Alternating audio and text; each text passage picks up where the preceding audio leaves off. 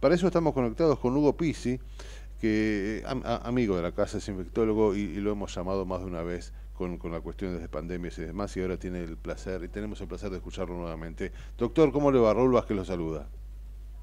¿Qué tal? El gusto de escucharte. Un placer. Sí, la verdad es que todo lo que dijiste es una realidad, ya llegó al paralelo 42. Nosotros siempre escribíamos en nuestros libros que la vinchuca no pasaba el paralelo 42. increíble, ¿no? Para que la gente lo, entienda es Chubut y Chubut, y ahora ya, ya estamos en todos lados, o sea, y es una pena porque el mosquito este no estuvo en Argentina, el calentamiento global, las malas políticas lo dejaron entrar y ahora ya ha sentado sus reales junto con, con, el virus, porque ahora virus y mosquitos ya son totalmente autóctonos. Yo no sé si vos recordás de que antes era eh, un viajero de sí, absolutamente. En, Ezeiza, uno en la terminal de, de Neuquén, o sea, uno lo aislaba, pero ahora ya no. O sea, ser autóctono ya... pasa a ser un problema a nivel nacional, es un problema ya nuestro y que tiene que ver con nuestras políticas.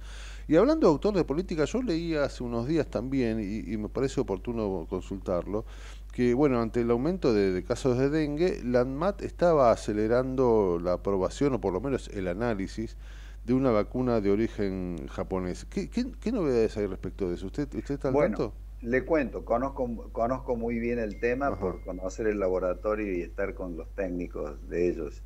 Eh, el asunto es así, ANMAT hace un año y medio que la tiene, pero es una vacuna que ya se usa en, en varias partes del mundo, a tal punto que un vecino nuestro ya también la usa, Brasil. Es una vacuna eh, muy interesante, mejor que todo lo conocido hasta la fecha, porque hay una vacuna francesa que no dio el resultado esperado. Eh, y se cubre un grupo etario de 4 a 60 años que es importantísimo porque prácticamente está todo cubierto ahí. Se coloca en dos dosis con un intervalo pequeño de dos meses. Eh, cubre totalmente el, el virgen de dengue y el que ya tiene, que es lo que más nos preocupa, un anticuerpo de, de, la primera picadura e introducción del virus circulando. ¿no? Exactamente, sí, digámosle a la gente que a veces es el problema pasa por quien ya tuvo dengue, y ahí corre riesgo este, su vida también. ¿no? Al revés de cualquier otra enfermedad, así es como lo acabas de decir. Entonces, ¿cuál era el problema del, del, anterior, de la francesa? Que al, al virgen eh, había problemas ahí, pero el que ya tenía sí los cubría, se salvó mucha gente. Pero esta, esta realmente va a tener un, un grado de cobertura muy interesante. Por eso nosotros estamos muy ilusionados con que en estos meses ya se... Bueno, eso le iba, le iba, a preguntar cuánto tiempo puede demorar el análisis y la, la, aprobación definitiva por, parte del, anda, del ANMAT y después la distribución y toda esta cuestión que también me imagino que merece o necesita de su tiempo, ¿no? Sí, en general ya lleva un año y medio más o menos ANMAT, que ya es bastante, ¿no? O sea, yo creo que ahora es probable que aceleren un poquito, un mes o dos meses más. Y después la parte de la logística, que también tenés razón en eso, que es bastante engorrosa, pero cuando uno está acuciado por una por una epidemia, tener la seguridad de que se va a hacer todo expeditivamente. Ojalá, ojalá. La última, doctor, yo sé que estaba apurado y tuvo la deferencia de atendernos. Eh, bueno, ante la expectativa, digo, de este, de este suero japonés que va, creciendo y la verdad que ojalá rápidamente tengamos lo tengamos entre nosotros. Mientras tanto, los contagios, digo, siguen creciendo, creo que hay más de 17.000 casos. Y, bueno, está bueno advertir eh, en esto de intensificar las sanciones, las acciones digo de, prevención para, para erradicar definitivamente estos mosquitos en nuestros hogares, ¿no? Esto es fundamental. Sí, bueno, te voy a dar la actualización. Son 25 muertos, mm.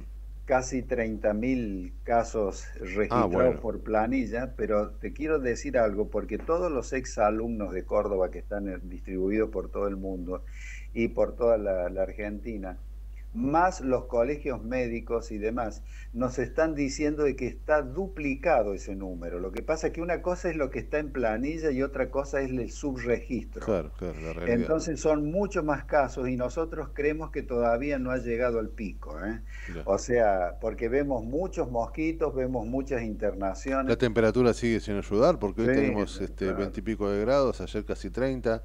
Eh, nos hemos convertido de a poco casi en un país tropical, ¿no? Eso también de alguna manera debe ser este debe, generar esto también, ¿no? Absolutamente, ese es el gran motivo, pero fíjate vos que eh, hay productores argentinos en Formosa, en Misiones, en Salta, que producen frutas tropicales que exportan. ¿Cuándo íbamos a tener eso? No, no, no, no, Mamones, papaya, mango chirimoya que se exportan al exterior. Exacto, es increíble. Teníamos que irnos a, Brasil para comer eso y ahora lo, tenemos en nuestra tierra. La verdad que, es increíble, es increíble. Doctor, como siempre, es un enorme placer, primero por la calidad de su respuesta y, por lo, claro que es al exponer. Así que le agradecemos muchísimo y seguramente usted es casi un columnista del programa, eh, lo estaremos molestando alguna vez por alguna con cuestión. Mucho placer. Te mando un abrazo cariñoso. Otro para vos, un abrazo enorme, doctor era el amigo ya de la casa Hugo Pizzi que nos hablaba, bueno, de esta cuestión que tiene que ver con el técnico, que empieza a ser complejo y que de alguna manera las expectativas y la esperanza se ponen en, este, en esta vacuna japonesa que el ANMAT está ya presto a, definirse.